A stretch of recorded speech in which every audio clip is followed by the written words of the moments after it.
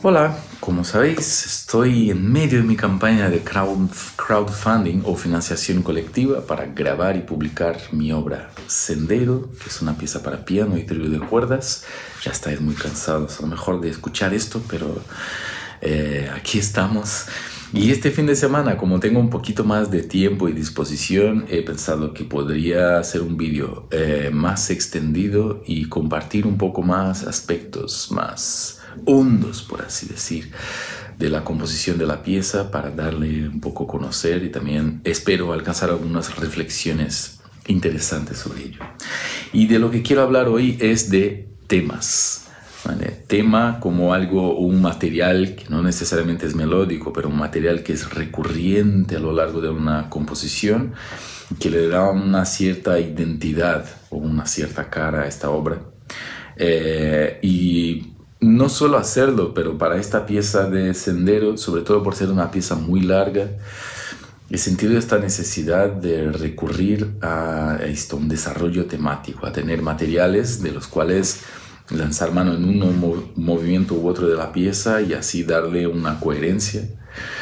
Pero más allá de la coherencia del sentido de que vuelve el mismo material, entonces sabemos que estamos en la misma pieza y no hemos ido a otro lado, eh, me he influenciado un montón o me he inspirado mucho en esta concepción temática y desarrollo temático de la música clásica del siglo XIX y principios del siglo XX en Europa, en que materiales temáticos eh, no solo sirven para dar esta idea de coherencia, sino que pasan por transformaciones o son sometidos uh, a procesos de transformación que ahora van a estar eh, en una clave más dramática, ahora en una clave más lírica, etc. Lo cual nos da esa idea en una pieza de larga escala que estamos realmente pasando por un viaje.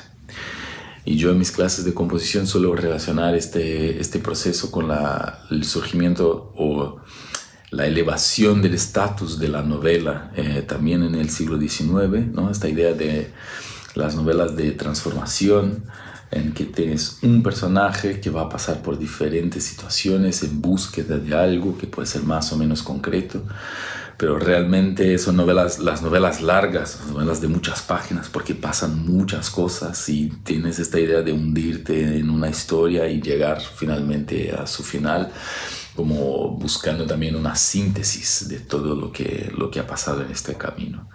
Y yo creo que todas estas cosas obviamente tienen mucho que ver con, con Sendero, porque también es una pieza de transformación y una pieza de camino, una pieza de, pasar por diferentes momentos.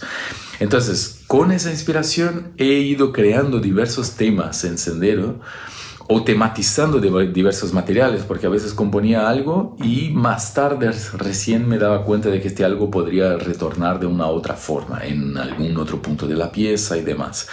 Entonces no es que fue un proceso sistemático de que he hecho temas aislados y luego he intentado ponerlos en la pieza, sino de que me han salido muchos materiales que a lo largo del proceso de composición he ido tematizando, reaprovechando. Y eso es, me gusta porque da un efecto, si escuchas toda la pieza, da un efecto de reencontrarte con cosas, pero estas cosas nunca son, son exactamente las mismas o están exactamente en la misma clave de carácter y de emoción. Entonces, vamos con partitura de sendero en manos. Vamos a mirar un poquito los temas que aparecen por aquí y la manera como aparecen. Y espero dar esta idea de que realmente creo, en la idea de sendero, de hundirse en un paisaje, en que uno va pensando cosas, pero estas cosas no son solo una línea de, transformación constante, sino que vas dando vueltas a cosas que ya has pensado antes y las vas también eh, repensando, reproblematizando, etc. Y eso es un efecto que, que busco en la audición de Sendero. Vale. Entonces, en el primer movimiento tenemos ya de salida un material que va a aparecer, que tenemos esa ventaja de que aparece muy, muy expuesto ya en la viola solo. He comentado ya la participación de instrumentos en otro vídeo. Eh, y aparece este tema en viola solo, que es un tema en cuerdas duplas, también un poco dramático ya, que es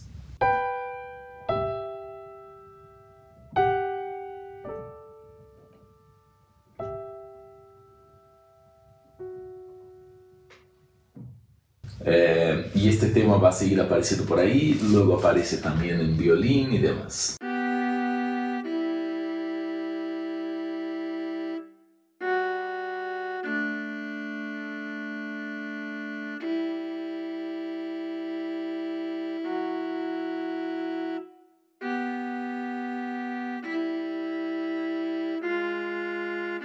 Y aquí hago un pequeño, una pequeña observación. Veis que suena muy raro y muy, muy feo esto porque es una maqueta hecha por computador.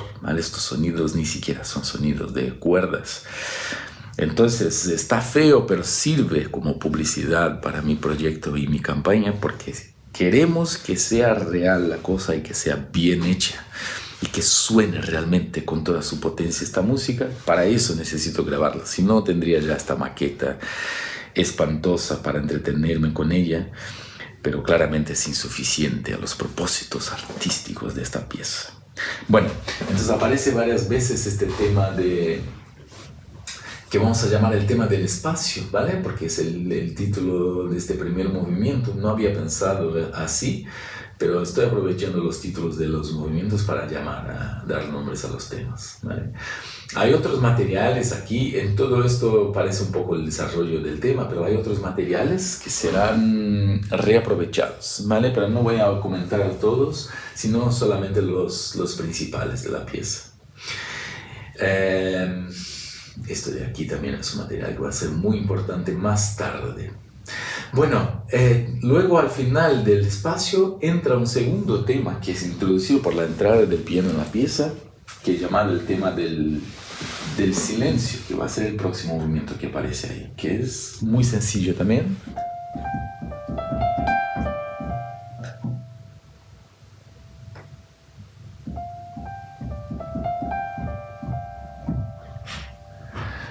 Y ya cuando entra en silencio, este tema aparece con el violín y ya también en su forma un poquito más desarrollada. Esto que aparece aquí en violín, con respuestas de piano. Hay también eh, fragmentaciones, ¿no? Como aparece en el cello, solo con y lo deja ahí. ¿no? Este tema va a ser muy fragmentado, va a aparecer de muchas maneras distintas a, a lo largo de la pieza. Vale, pues muy bien. Eh, tenemos aquí en silencio una otra cosa que va a aparecer, que, para que veáis que tema no solo tiene que ser una melodía, que es este do de la viola. Esto me gusta mucho. Este movimiento silencio viola solo toca do. En plan, queda do. Do. Do. Y así. Y esto va a ser utilizado en otros movimientos, en el último también y en otro movimiento que también se llama silencio, por eso este es silencio 1. Habrá otros dos silencios a lo largo de la pieza. Y una sola nota constante también es una manera de darle, para mí, esta idea de, del silencio o de la meditación casi. Entonces es, un, es también un tema, aunque no sea una melodía, pero es un tema que va a ser aprovechado a lo largo de la pieza. Vale, pues muy bien. Y luego tenemos eh, en la pieza de viento, tenemos este material súper característico del violonchelo. Yo creo que va a ser uno de los momentos más marcantes de la pieza, este principio de viento.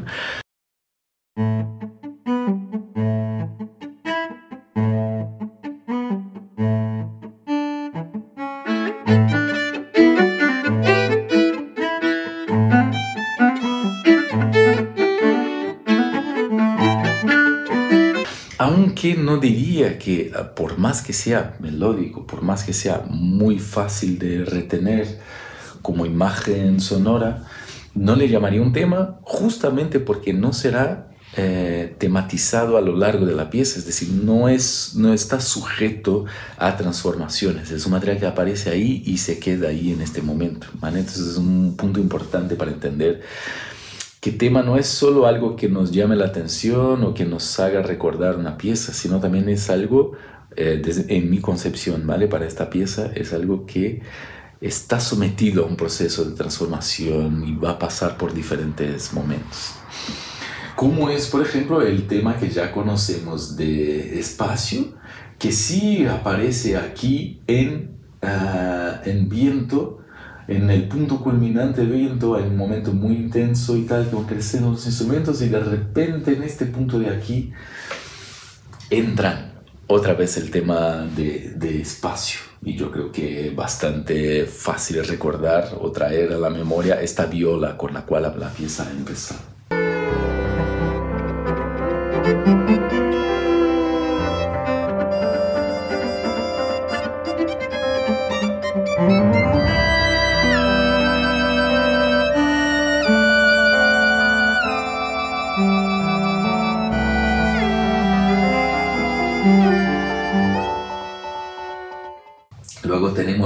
Estos pequeños materiales de rítmicos de aquí que sí van a aparecer en algún momento más tarde en la pieza que voy a comentar, pero muy brevemente, entonces tampoco diría que sea un tema, ¿vale? Luego, en Silencio 2 hay un aprovechamiento temático del final del, del, tema del silencio, solo del final. Es una pieza que empieza muy arriba, muy en, eh, en el registro agudo y va a ir bajando lentamente. Entonces este material para ir bajando lentamente es un trocito de, del tema del silencio que empezaba como... Entonces solo esta bajada es la que voy a aprovechar aquí, por ejemplo con esta línea de, de violín que va a entrar.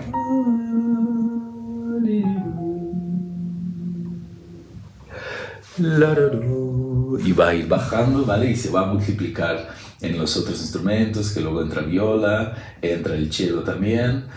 Más tarde va a entrar el tema del silencio más completo, etc. ¿vale?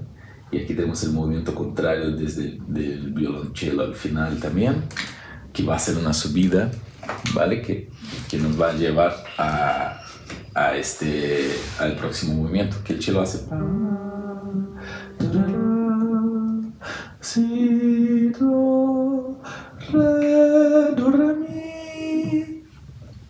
Silencio. Y ahí va a entrar la próxima pieza que se pasa. Es como invertido. En vez de ir bajando, va subiendo. Vale, en Embalse, Embalse es la pieza, la única pieza que está grabada, ¿vale? Que tenemos la demo que está en el sitio del proyecto para que podáis escucharlo entero. Esa es una pieza muy particular dentro del conjunto, es una pieza que está está más, más aislada, es como la más larga de todas, está en el centro de la obra, es una especie de, de piscina, que, o sea, un mundo aparte dentro de la obra, yo creo. Y sin embargo sí tiene una melodía, que es una melodía muy larga, que va a reaparecer en el último movimiento, ¿vale? Porque como veremos, el último movimiento es una especie de recapitulación donde todos los temas de la pieza van a convivir. Y en este sentido me he inspirado mucho en Dvorak, que, que hacía cosas semejantes en sus sinfonías. Entonces sí tenemos un, una melodía que ya conocéis por la grabación de...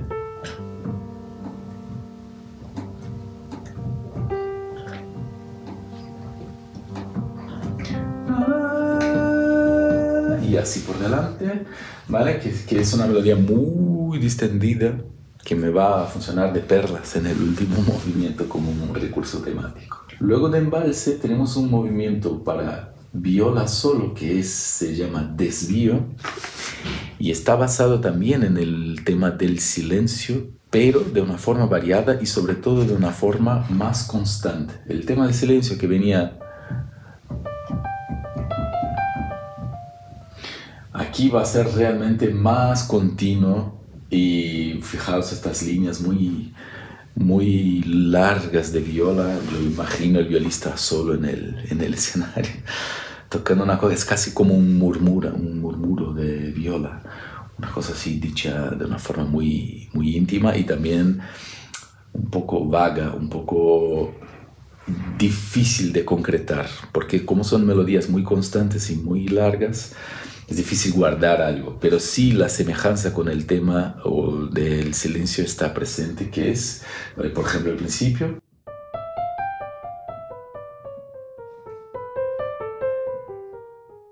que es esta primera melodía, ¿no? Entonces muy, viene mucho de aquí.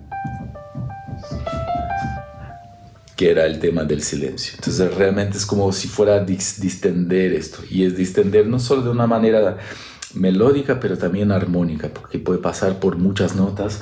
No hay una tonalidad aquí específica, realmente hay muchas notas que aparecen, pero no desde un punto de vista modal, de buscar la escala en que está, etcétera, sino más una improvisación libre de esta parte de la viola. También tiene sus transformaciones y demás. Y aquí aparece una cosa interesante que es, yo ni diría un aprovechamiento temático, pero sí una, una especie de injerto de este material de viento que entran de repente violín y violonchelo y hacen la parte rítmica del viento encima de la línea de viola, luego sale viola otra vez, más tarde entran violín y violonchelo y luego le, le conducen viola otra vez a la pieza. Entonces es como realmente me gusta esta idea de injertos o ventanas hacia viento aquí en esta pieza de desvío que también me parece interesante, que es una pieza solo para viola, y de repente aparecen los otros dos y se van. Es como muy sutil esta entrada y salida, y también le da la idea de dinámica a la pieza, de que nada es eh, sedimentado. Ah, ese es un solo de viola. De repente es un solo de viola, pero aparece no solo otros instrumentos, pero también otra pieza encima de este solo y luego desaparece. Este tipo de dinámicas me, me interesa mucho en composición. El siguiente movimiento, que es Última Flor, es el movimiento para piano y violonchelo solo. Digo, piano y violonchelo sin violín y viola. Y aquí tenemos una melodía. Hay dos cosas que van a ser aprovechadas en el último movimiento. Lo primero es esta melodía, que aquí es un caso interesante. Es una melodía que va a ser repetida tal cual en el último movimiento, pero con un contexto armónico completamente distinto. ¿vale? Entonces la primera melodía, que, la primera vez que aparece aquí en Última Flor es así. Imaginar el cielo. Sol, la, si, sol,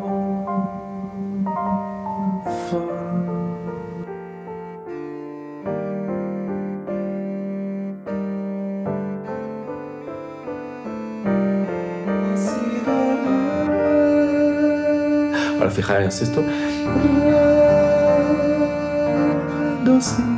La bajada está también el silencio. La sol, sol, fa, re, do, si, la sol, la, sol, fa, re. También una melodía muy larga. Esta melodía va, va, a reaparecer en el final. Y también tenemos un pequeño material de, del piano, eso mejor con la grabación, un pequeño material del piano que va a ser también utilizado en la última pieza. Muy bien, ya acercándonos al final tenemos una vez más el silencio. Fijaros en este silencio. Primero aparece el tema del espacio, transformado, un poco acelerado y un poco, un poco más desarrollado. Uh, y si más adelante aparece el, el tema del, del, silencio propiamente en el piano primero.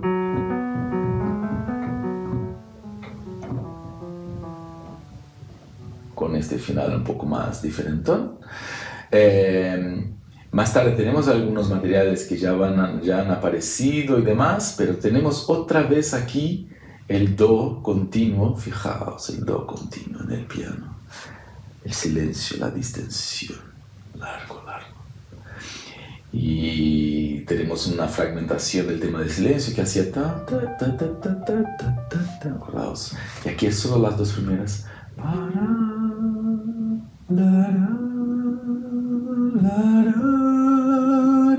como que va subiendo entre violín y viola, hasta llegar a la última pieza, que es Espacio 2, que entra de lleno con este piano eh, haciendo el tema del espacio, ahora en una armonía diferente. ¿vale? El espacio tenía una armonía más cromática y más libre, y ahora está anclado en esta tónica en Do, que es la tónica de toda la pieza, el Do del silencio, del distendido queda aquí como omnipresente y da una clave armónica muy diferente a esta última pieza, que yo diría que es más grandiosa, más anclada, más, más sostenida eh, armónicamente, menos dada a variaciones cromáticas, aunque aparezcan sí cosas diferentes a lo largo.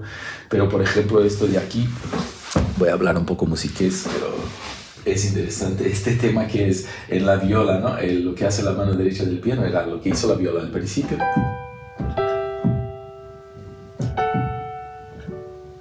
Pero ahora con el bajo en el do,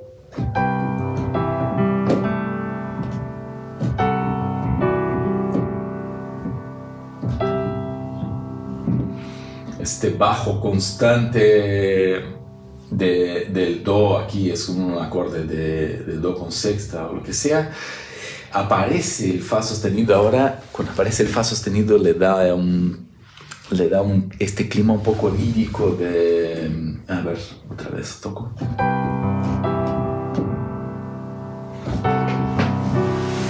De sueño o de fantasía, que es característico de este fa sostenido como característica de un modo que se llama lidio y, le da un, aire más, eh, de repente esto, más fantástico a este último movimiento que está empezando. Eh, va a aparecer bastante, es una larga introducción de piano y luego cuando entran las cuerdas entran con esta melodía de la última flor, del movimiento para cielo y piano.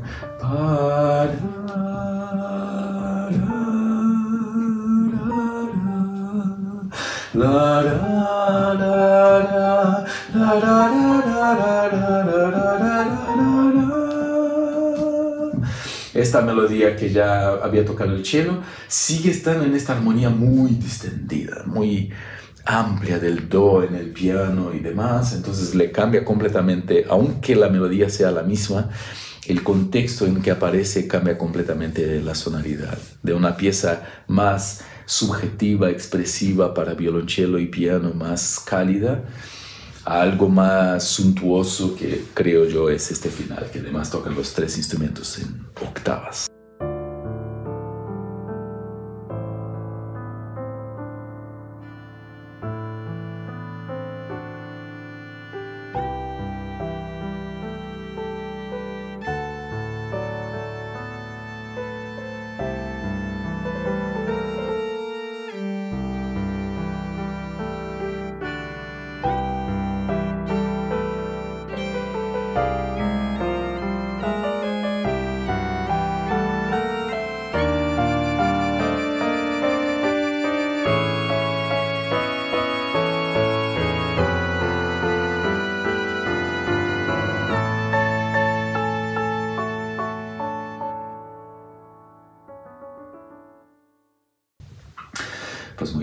Luego tenemos varias utilizaciones del material de del material de espacio.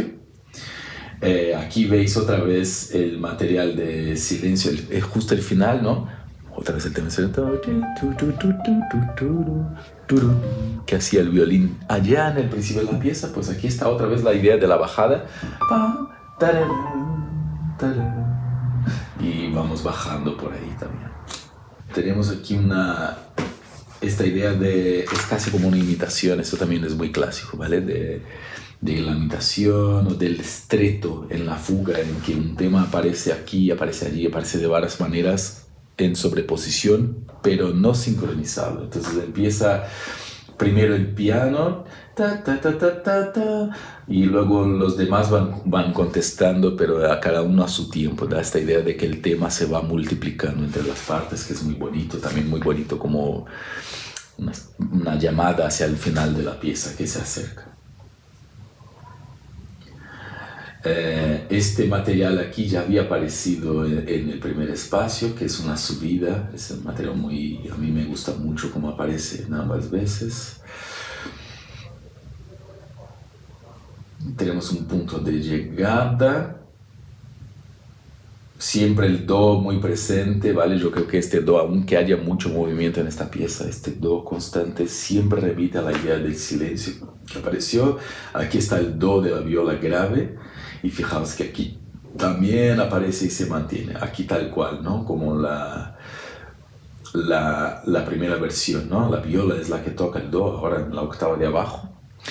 Y sobre este do entra el tema del espacio por aquí, en el violín, tal cual, ¿no? El tema... Y sobre este tema entra esta melodía, que es la melodía de embalse. Entonces hay tres cosas aquí ahora en este momento, el do constante, el tema del espacio y la melodía de embalse. Esta también es una melodía repetida muy, de forma muy cercana. Y falta, claro, el tema del silencio que va a entrar aquí en, manera variada también. Y justo vamos terminando, vamos terminando las subidas del silencio y las bajadas del silencio, algo que estuvo muy presente. Y en el último, último momento hacemos esto, hace una pequeña referencia a Última Flor, a la parte del acompañamiento de piano, antes de realmente estabilizar este Do. Es como ya hemos llegado al Do, pero hay una pequeña desestabilización que aprovecha este material de Última Flor y luego estabiliza en el Do para terminar la pieza. Con lo cual, no había pensado en eso, pero es una pieza que está en Do, ¿vale? Porque realmente Do claramente es una tónica importantísima para la obra.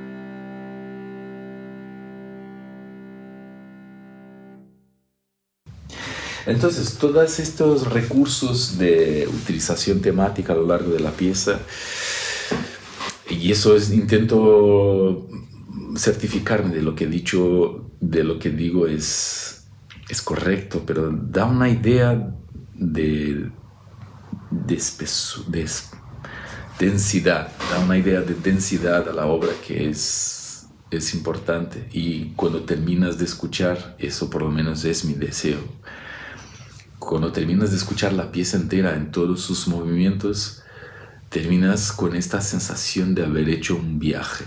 Entonces también es una pieza que exige en este sentido con una cierta concentración a la hora de escuchar para tener este efecto. Pero yo creo que es muy gratificante porque sientes cuando termina todo eh, esta idea de que has, has llegado de algún viaje y y eso es algo que me parece muy bonito poder realizar con música. Eh, esto, toda esta cuestión de temas y de reconocer o no, tampoco inviabiliza si no te fijas en eso. Si escuchas movimientos separados, no estás interesado en escuchar la obra entera. Yo creo que también cada movimiento tiene su coherencia interna y funciona como una pieza. Pero esta dialéctica entre piezas bonitas o, o emocionantes o lo que sea, aisladas, pero que cuando echas en hilo, como están planeadas, además de eso te dan la idea de un viaje a través de esta utilización de temas, es algo que, es algo que simplemente me, pues me apasiona. Y no había, no había practicado mucho este tipo de composición, pero estoy, estoy muy feliz de haberlo hecho en Sendero. Bueno, muchas gracias por vuestra atención. Si alguien ha llegado al final de este vídeo, espero que haya sido interesante y espero que traiga reflexiones también más allá de la música. Como siempre digo, la, lo importante no es solo el sonido, sino la conexión de los sonidos y de las ideas musicales con el mundo, con la vida y más allá de detalles técnicos musicales, creo que siempre el objetivo de una música es provocar reflexiones y impactantes y que realmente serán impactantes si se conectan con nuestra vida y con el mundo en el que vivimos. Hasta pronto.